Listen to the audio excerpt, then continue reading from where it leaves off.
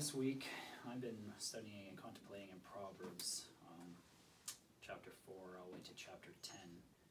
And it's been printed in my heart that every uh, chapter I've been going through has been something about examining a personal life. Um, you know, there's always something inside of us that we wish we could change. And and anyway, so as I've been, you know, searching through the scriptures of that, I've just been wanted to share a few things there. Today's verse today would be it's Lamentations three forty, and it says, "Let us search out and examine our ways and turn back to the Lord."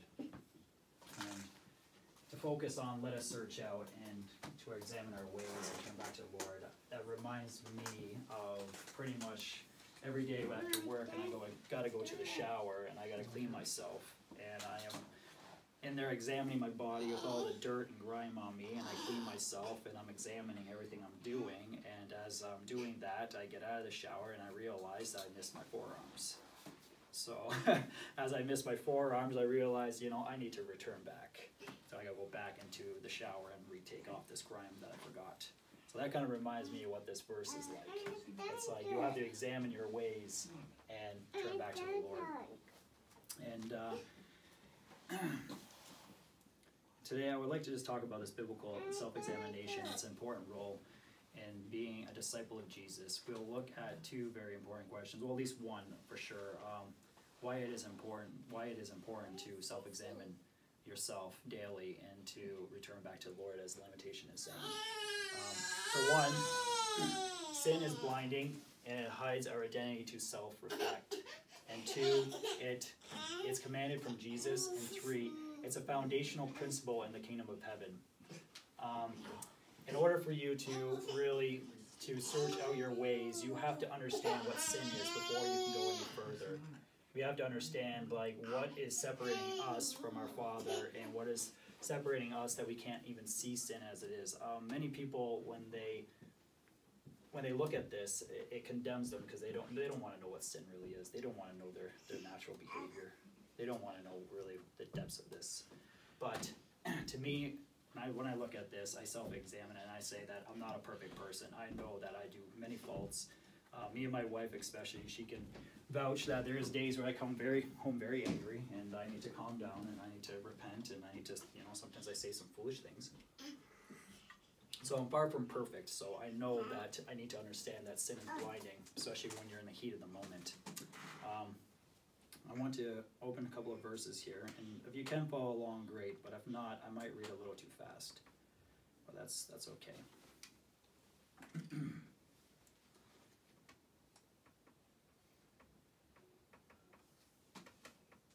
my computer wants to work with me here.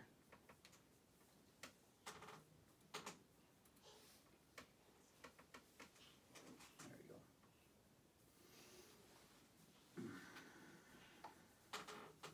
I guess the first thing we need to ask yourself is really what is sin? if uh, Benaiah, if I were to ask you what sin, what do you think sin would be to you? The first thing that comes to my mind is the biblical verse. It's the sin of the transgression of the law. Yeah, right, right. And uh, what about you, Becky? What would you think? Um, like disobeying the Ten Commandments. Right, right. And and you are you're both right. Um, First John three four says that um, whoever commits sin transgresses also the law, for sin is transgression of the law. And Romans seven seven says that what should we say then? Is the law sinful? Of course not. In fact, I would have become aware of sin if it had not been for the law. I wouldn't have known that what it means to covet unless uh, to covet if the law had not said you must not covet. As a child, I grew up with many laws in the home. Uh, as a child, growing up with my parents, um, we had many boundaries and laws in our home. I was taught not to steal. I was taught uh, not to lie, to hurt each other, to respect my mom and dad, uh, elders. I was also to go to school, which was a law too. Uh, clean up your room. Uh, don't leave toys laying around. Help out mom and apologize when I did something wrong. And I know that there's pretty many laws that you know. For instance, Becky, is there any laws that your mom and dad give you?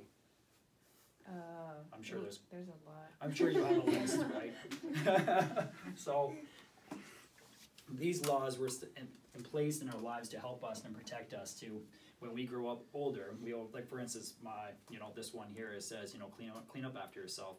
I was 18, 19 years old. I moved out of the home, and uh, you know if my mom didn't always be like clean up after yourself, clean up after yourself. You know I lived on my own, and I'm kind of a neat freak. I like to clean up after myself. I do my own laundry. I know how to cook. I you know when my wife is sick, I don't have to rely on her. I can cook for myself. There's a lot of things that my mom taught me for this very reason, and the law was there for a reason. It was to to help us to grow and to understand. And now the question is, what happens when you disobey the law? So, if for me, um, I'd talk back, back, back to my dad, and I'd be angry at my dad, and I'd say something back to him. Well, I either got grounded or I got spanked. so there is uh, precautions. Uh, there is, uh, yeah, yeah. Anyways, you know where I'm going to go with that. When you come out of the way of being disobedient There's, there's repercussions. repercussions. That's the word. Thank you. Repercussions for for your act of disobedience, especially when it came to my dad. he was a hard man, but I'm glad that he taught me what he taught me. So, um, so, but what happens when you break one of these laws and you don't confess him it is right? In the Garden of Eden, Adam and Eve were told not to eat from the tree of good and evil, but both of them disobeyed God's commandments and ate from the tree. Uh, let's turn to read Genesis 3 to 8. There is something very important here that what sin does. So I'm going to go back to number one. Sin is blinding and it hides our identity to self-reflect. And when you go, you can see this in the very first act, when in disobedience of what happened to Adam and Eve. So I'm actually going to turn there with my Bible and I'll read it.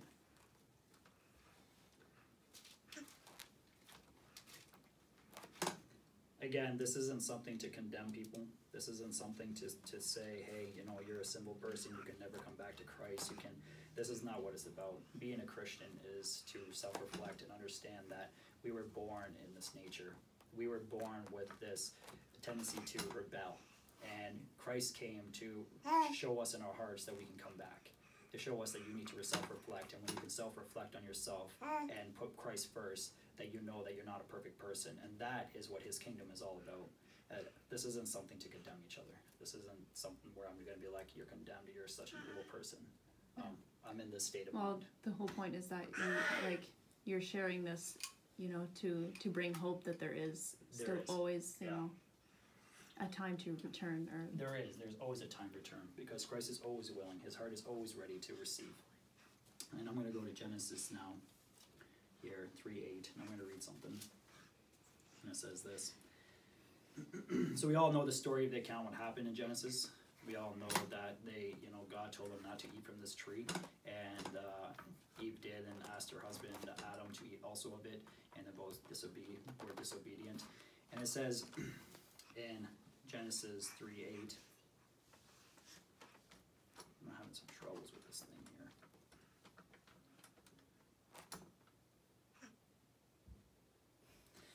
And they heard the sound of Adonai Elohim going to and fro in the garden in the wind of the day. So the man and so the man and his wife Adam and Eve hid themselves from the presence of Adonai in the midst of the tree of the garden.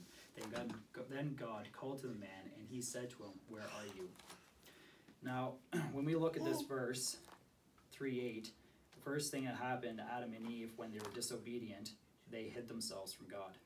They didn't want to be in his presence. They didn't want to self they didn't want to look at themselves and say, Hey, we did something wrong. They more as were like, I need to hide myself. I don't want to come to the light. I don't want to be reproved.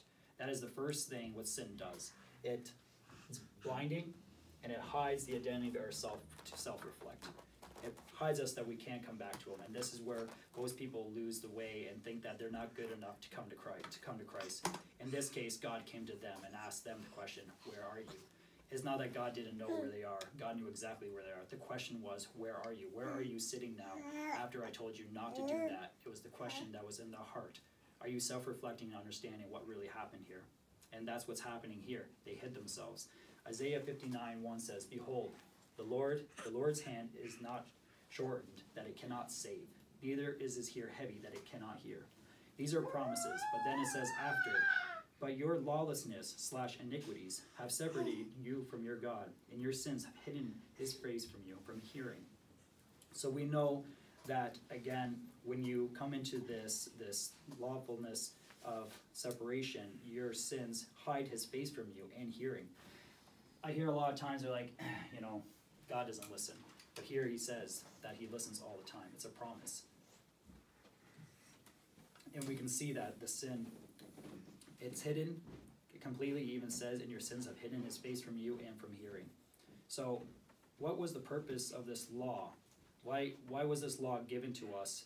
And I want to jump into that because the law was there to get us out of this thinking that it, it is blinding and it hides. When Christ came, He did something so beautiful, what the law could not do. The law was there to help us to read and to, to understand, to grab it and look at it. But the Pharisees and Sadducees would grab this law and they would look upon each other. And what they would do is say, hey, look at this person's no good. He's not doing it here. Hey, look at this person's no good. He's not, look at, he's not doing this, what it's written. And that's what the law wasn't supposed to, be, wasn't entitled to do. It wasn't supposed to be doing these things. But Christ showed us a new way what the law was supposed to do. And it says in Galatians 3.24, So the law so that the law had been our tutor to bring us to Christ, that we might be justified by faith. So, what was the purpose of the law? Was it to condemn or was it to self examine? And here we can see it. So, the law had been our tutor to bring us to Christ, that we might be justified by faith. So, that's what the purpose of the law was. It was to bring us to Christ. And as we came to Christ, we would self reflect and we would look upon Christ's face and understand that we were guilty and Christ would look upon us. And as we knew this, that's how we became children of God. That we knew that we needed a Savior. We needed Christ in our lives. The law brings us to Christ and we see our sinful state in the face of Christ. We become convicted, and that that's our very first transformation that begins in the heart. First John First John 1 9.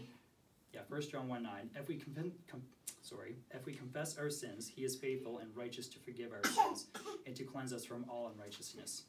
This is what the law's purpose was.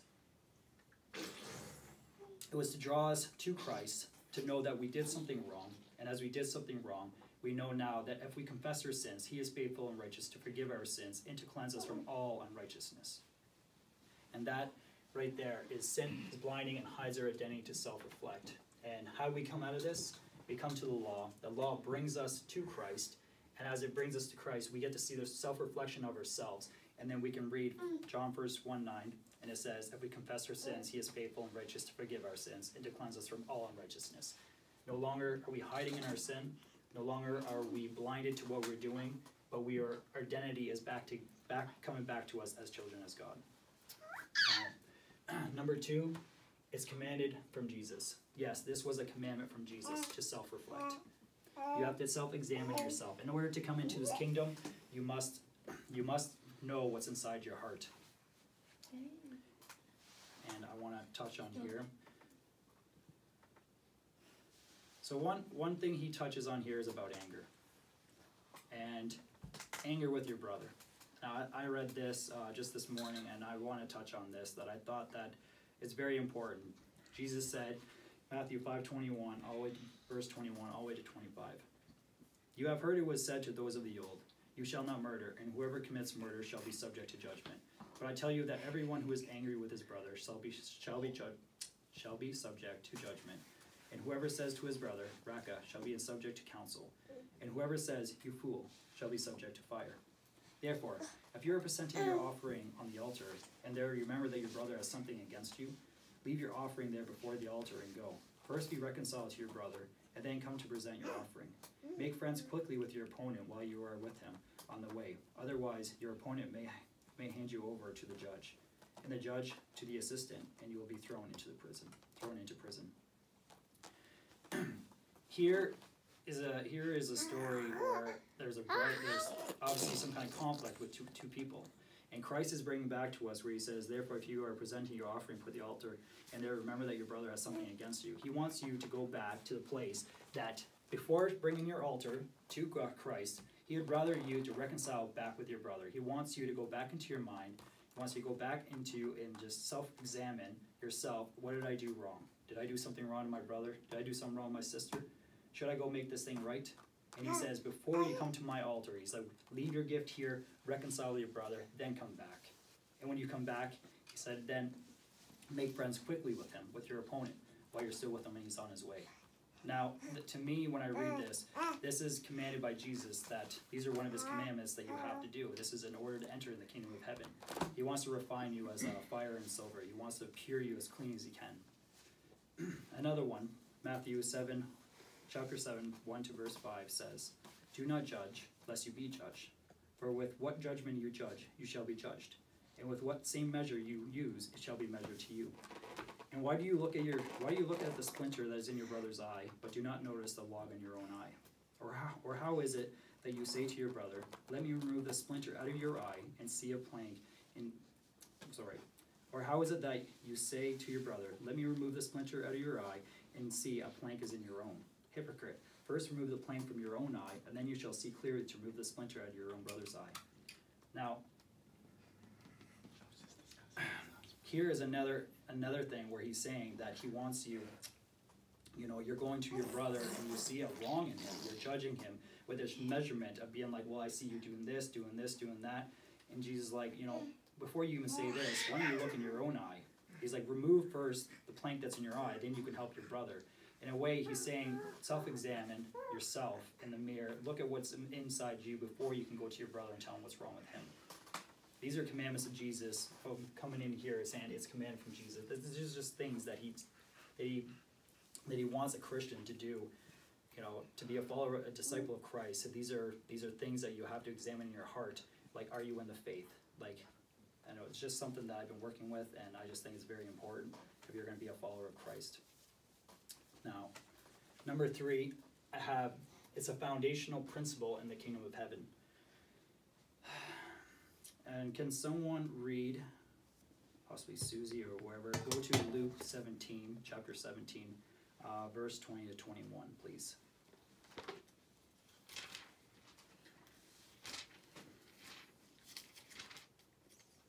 Twenty twenty-one? Yes. Okay, now when Yeshua was asked by the Pharisees when the kingdom of God would come, he answered them and said, The kingdom of God does not come with signs to be seen, nor will they say, Look here or there, for behold, the kingdom of God is in your midst. Your So- translation might be a little different. Yours, yeah, yours says in the midst.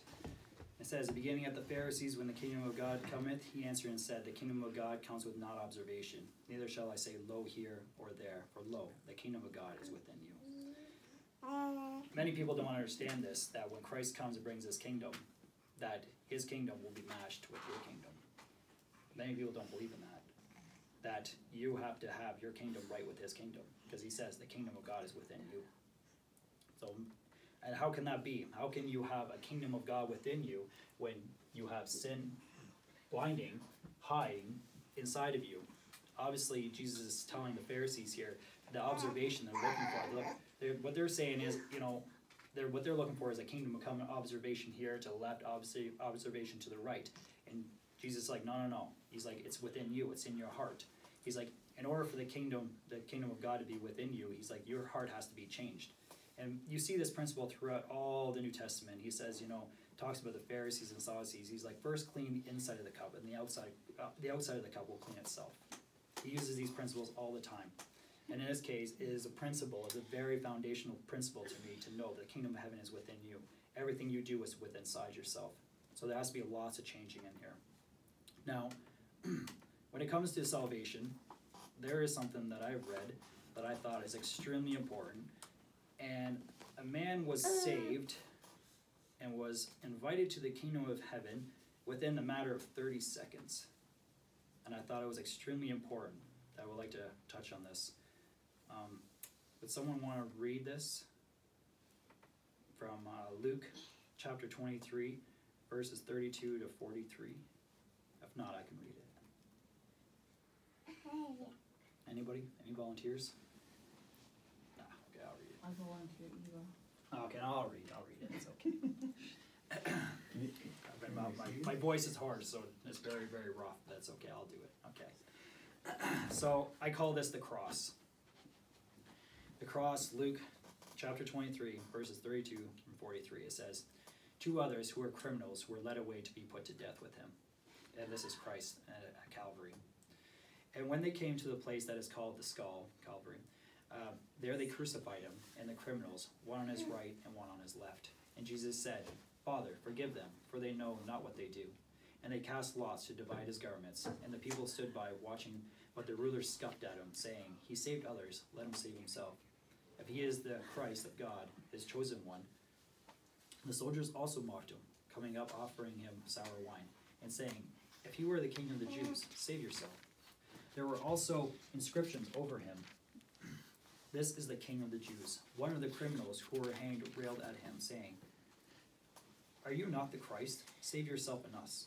But the other rebuked him, saying, Do you not fear God, since you are under the same sentence of condemnation? And we indeed justly, for we are receiving the due reward of our deeds. But this man has done nothing wrong. And he said, Jesus, remember me when you come into your kingdom. And he said to him, Jesus said to him, Truly I say to you, today you will be with me in paradise. if you really know what's happening in this scene, you would understand two, a few things. Two people were being crucified beside Christ, one to the left and one to the right. The one criminal is telling him, is mocking him, saying, If you are the Christ, save yourself and save me. The other criminal says these very words, and I'm going to I'm to show you how fast this was that he was saved. The kingdom of heaven was in this man, nailed on the cross beside Jesus.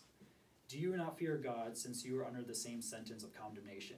And we indeed justly, for we are receiving the due reward of our, our deeds. But this man has done nothing wrong. Then he says, Remember me when you come into your kingdom. And Jesus says, Truly I say to you, today you will be with me in paradise. This man says, For we have received the due reward of our deeds. He acknowledged what he did was wrong. He acknowledged who the Son of God was. He acknowledged exactly every point that he knew that right now the man what he just said was wrongfully wrong and he corrected him and he rebuked him and he said that I deserve what I have. But this man, he did nothing wrong. Just those three steps was enough for this man to enter the kingdom of heaven.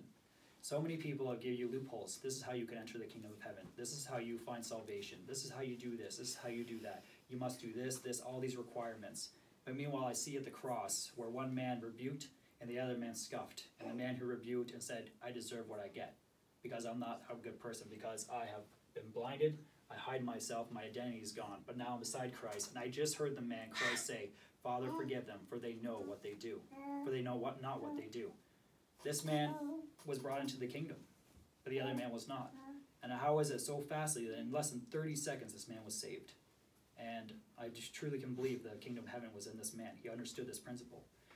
Jesus also used another illustration of this, and it's from the temple.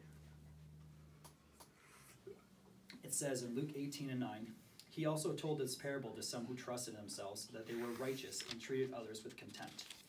Jesus said, Two men went up to the temple to pray, one a Pharisee and the other a tax collector. The Pharisee, standing by himself, prayed thus God, I thank you I'm not like other men, extortioners, unjust, adulterers, or even like this tax collector. I fast twice a week, I give tithes of all that I get. Then Jesus says, But the tax collector, collecting, standing but the class, but the tax collector, standing afar off, would not even lift his eyes up to heaven, but beat his breast, saying, God, be merciful to me, a sinner. I tell you, this man went down to his house justified rather than the other. For everyone who exalts himself will be oh. humbled, but the one who humbles himself will be exalted. So in this in this case, we have two people. One a oh. righteous person who's like, I'm so glad I'm not like these other people.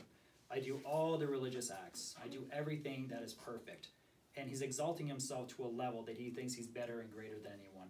But this man who comes to the temple, he just says to him, he wouldn't even put his eyes up to heaven and he says, Father, forgive me, for I'm a sinner. Be merciful to me, I'm a sinner. Jesus says those very words right there was ready, he was justified, but the other person was not. How is it that all these religious acts, and yet it made him exalt, where the man in his heart knew that he had something wrong, and yet Jesus was like, that's the man who was saved. Not the person who did all these religious acts. Not these people who exalt themselves like they are somebody, but more they humbled themselves and said, I'm a sinner. And as this man here, he must, just by him exalting himself, he was blind and he was hiding who he really was. He was saying, I'm better than everybody. I'm going to exalt myself. He was doing exactly all these principles. He was not doing the command of Jesus. He was hiding everything he had, and the kingdom of heaven was not within him. But yet the other man, he had all he had to say was, um, God be merciful to me. I'm a sinner. Just those very words was just enough that God, God looked at him and said, This man's justified. So today I just want to leave that with you. That that's been burning on my heart for uh, for this week when I'm on my studies. That that the kingdom of heaven is within us, and it's all about self-examination. Grab the law, grab the Torah, ask God to refine you, as gold and silver to, to prepare your heart for the soon coming of his uh, kingdom. I just want to thank everyone for listening for that. Yeah, I just want to like make like a, a quick note. It's just I, fi- I find that a lot often people use um, uh, they use the well I'm just a sinner as kind of like an excuse to um, to continue in sin. I mean, um, I just feel like people they they throw the ability to be per- perfect so far away from them. Like just like like if they're confronted with their sin, like well like we're we're all sinners, right? Like I'm I'm just whatever. It's like yes, we are, but at the same time, we should always be looking for ways as to like in areas where we should, you know, like repent or just you know attempt to to do better and live more righteously. Like Yeah. don't just hide behind the fact like you know that we're sinners. Like of course we are, but like that that shouldn't be just you know an uh, Escape. yeah. Like an escape plan. Yeah, it shouldn't just be Yeah. our, our excuse, but it should like that should actually we like you have to have you have to be humble enough to admit that you're a sinner, but also you have to be able to uh, you have to be willing to work towards perfection, right? That's true. because the whole purpose of this life is that God pre- prepares us prepare like prepares our character to be fit for the kingdom, right? That's ultimately the end goal. Yeah. We just want our character to be fit for the kingdom. And I feel like if we're not growing in this lifetime, then how will we ever become fit? It's like, you know, exercising for, you know, the main event, right? Like Exactly. yeah. Exactly. Yeah. Yeah. I mean, I mean, all God wants you to do is to open your heart to Him. That's that's what He wants you to do. Again, it says, "Let us search out and examine our ways and turn back to the oh, Lord." And all He wants you to do is just tell Him exactly what's in your heart. well, obviously, obviously, like uh, a lot of people will overcomplicate it too, right? Oh, like yeah. they'll Oh, think yeah. you have I- to follow a list of commands to earn your salvation, but that's not really either. Like I feel like the gospel is a lot simpler than what people make it. Yep.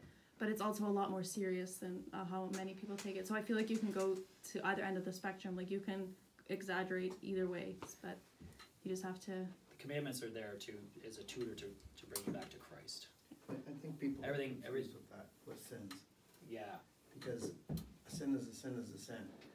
There's nowhere that says, there's no scale of, this is a bad sin and this is a not so bad sin. Yeah, Yeah. there is. There's no people get that grayscale. mixed up. It's Yeah. Yeah. it's Whether black. you- It whether is she black and steals white. a chocolate bar that I say from the corner store, or I hold it up at gunpoint, we're both thieves, we're Yeah. both In in that same sinners. situation. But like you, you, Yeah. you steal a car or you steal a piece of gum, We're like it's thieves. it's equal. We're thieves. And, and the whole plan of salvation is that you could acknowledge that you did something right and ask for redemption from it. Yeah. Exactly. Like it's it's just a, a matter of just admitting that you did wrong and re- repenting from it, and I- you're forgiven. Like I- it's don't you don't have to overcomplicate it. I remember, I remember when I stole a chocolate bar in a store, and uh, Dad was buying a bunch of things. I stole a chocolate bar from the store, and I put it in my back pocket. And then I went to the van and I opened it up and I started eating it. And Dad's like, "Where'd you get that?" And I was like, "You bought it." And he's like, "I did not buy that." I was just like, "Yeah, you did." And I swore, I swore up and down that he bought it. He knew. Out of the, the three hundred and sixty dollar phone bill that he, uh, uh, food bill he had, he had there was a, nine kids. That's a lot of lot of. There, I remember half of the van was just bags. They were sitting between all of our legs and our laps. That's how much food we had to buy. And he knew that I stole a chocolate bar, and I was eating it. And he went, turned around, went back in the store. He said, "Now you go put that back on the shelf." I was like, "Well, it's already half gone. I don't care. You're gonna go do it." And I went there with my head down in shame, and I put it on the counter. And the guy looked at me, and I was like, "I stole that." And the dad had to go in there and pay for it. But I'm telling you, the humility of that, it was, it sucked. It sucked. And and I kept, I as a young kid, I kept on stealing, but I realized like it was so bad, and then you know I realized how wrong this really was. I've But- stolen once. You know what I mean? But it just hurts. I stole once, and, it- and it was from my grandfather was the most, like, my grandparents were perfect, in my eyes anyways, but, uh, and, and my friend convinced me to steal not one, but two beer when we were twelve years old, one for each of us, we were sleeping Yeah. in the tent. So, and my grandparents lived a good ways away, so we hiked down there and, of course, I'm dumb as a post at twelve years old, I go into my grandfather's closet, cause he always drank warm beer, and there was a there was no beer other than this full case, so I cranked the full case open and took the full two out, but my grandfather would have known that he hasn't taken two beer. Had he been halfway through the case, I might have gotten away with it. oh. So, so the Oh, phone calls quickly rang, of course, everybody started looking for their beer, which I held back till, till dawn. yeah. And Right. then, uh, I eventually had to